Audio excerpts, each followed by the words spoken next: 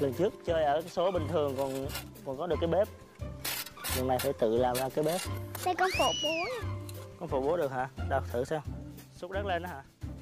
Rồi con muốn đào cái lỗ thì con lấy con lấy cái chân con đạp xuống. Đạp cái này nè. Ủa con không giúp bố nhặt rau nữa sao? Con mệt quá. Con làm gì mà con mệt? Vì con đi tìm á con đi tìm rau ở tại trứng á. Rồi. Đó là vấn đề rất nan giải ủa cái hộp gì này nết quá vậy à, mình đã xài hết ba cây rồi Ủa.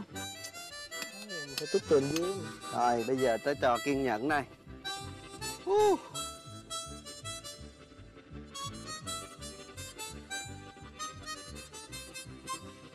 Ồ Làm sao nhỉ? bị tắt rồi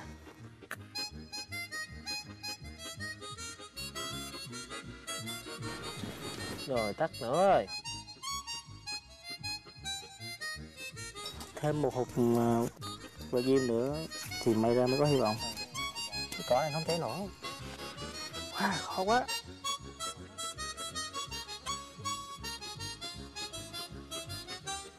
Ô anh tâm có vẻ chuyên nghiệp ha.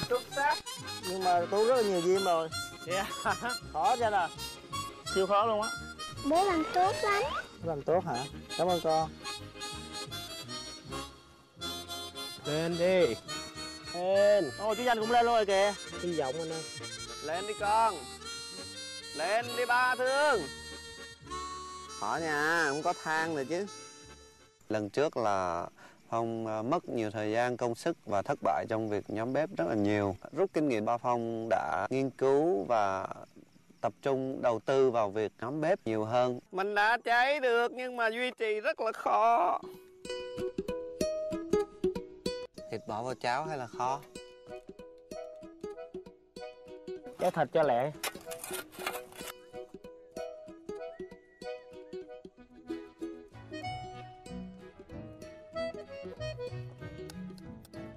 mùi hấp dẫn rồi đó Ổn không Danh?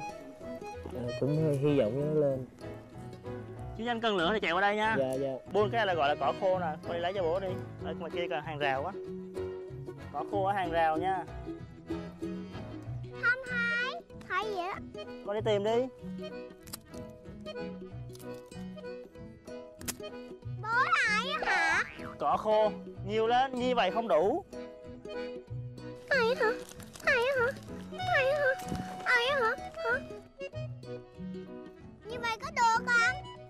nhưng mà nó quá ít bố gửi bỏ vô được không con đi lấy thêm cho bố đi Con mà thấy lửa gần tắt là con báo cho ba biết nha. ba ơi Ừ? con thấy ờ, con thấy bên trái nó tắt Ừ hử. nó tắt xí Rồi ba sẽ chạy tới liền. Ba giúp nó chạy tiếp.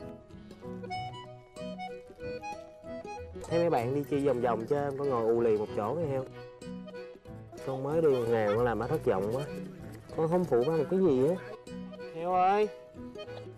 Muốn lật cao nữa. Không con chưa có lật rau được đâu. Con quậy không mà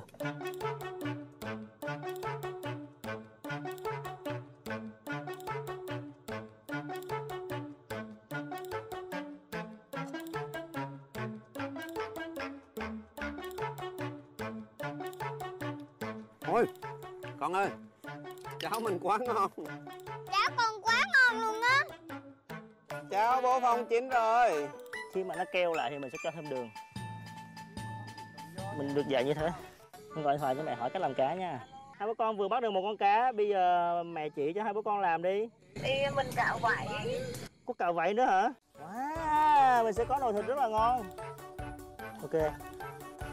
Nếm thì có vẻ được rồi đó. Giờ mình sẽ nấu cơm. Bố nha nè. Giờ bố nấu cơm. Mọi người có nghe thấy mùi thơm của thịt không